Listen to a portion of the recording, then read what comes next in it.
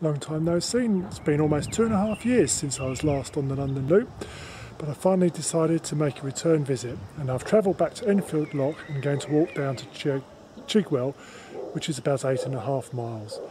Then there's another two sections after that, which I hope to complete over the next three or four Fridays, depending on um, distances, weather, etc. So, we're about to set off. I've just got off at Enfield Lock, and uh, yes, I was right. This is the uh, Turkey Brook, and uh, I've just seen a white heron. Of course, wasn't quick enough to get the um, camera out and video it, but uh, that's a uh, pretty positive uh, start to the walk. Right, this is Enfield Lock. There's the old cottages and there's the old lock house, and then in the background there, those buildings over there is the old small arms uh, factory. So we're in Enfield, we're on the Lee navigation, hence that's how the rifles got their name, Lee Enfield. Right, this is a flood relief uh,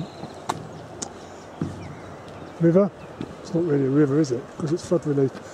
And behind that bank is the St George's Reservoir and over in the distance there is the uh, waterworks and those hills on the distance are the Sewardstone Hills. Right, I'm uh, getting closer to the Sewardstone um, Hills here.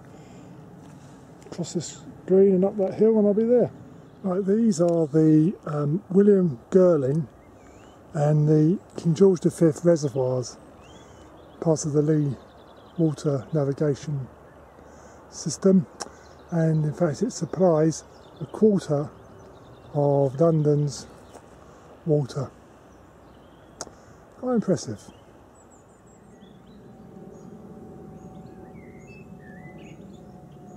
It's quite muddy um, around this part, which is um, circumnavigating the Scouts headquarters, but fortunately um, I wore my walking shoes but more fortunately, there's lots of good signposts, so I don't have to worry too much about navigation because I pick them up pretty quickly. Okay, I've arrived at um, Chingford and uh, I got.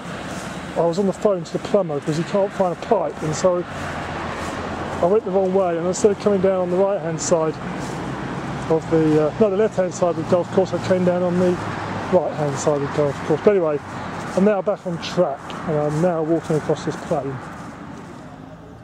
Right, this is the um, Queen Elizabeth Hunting Lodge. Originally, the first and second floor would have been completely open to enable Queen Elizabeth to have a view over the people hunting across Epping Forest, which is behind me, to the left of me, to the right of me, and the other bit which I missed out. Apparently, in the leg end bit here, that's uh, a stairway. Anyway, carry on. Oh, well, the um, sun's come out, warmed my uh, shoulders a bit. I don't think it's going to stay out for long. But it's nice while it's here. One of the many items of wildlife I've seen today. When I was in Buckhurst Hill, I saw half a dozen deer. But once again, I was too slow to get the camera out to photograph them or even film them as I'm doing here. Well, this is a lake that's in the Roding Valley Recreation Park and apparently it's a gravel pit which they use to extract gravel uh, whilst building the M11 which we're going to walk under shortly. When I say we, that's metaphorically speaking because I'm the only one actually walking under it because you're not, because you're just watching the film. As the sun sets over the Roding Valley, my walk from Enfield Lock to Chigwell draws to a close as I watch the sun setting in the far distance. Only a few more metres to go until I arrive at Chigwell Underground Station for my journey back to Kent. Well, SE9. So the end is here. I've arrived at Chigwell Station. Not too what the time is, so I mislaid my watch, but I imagine it's just gone nine o'clock. And I forgot to say,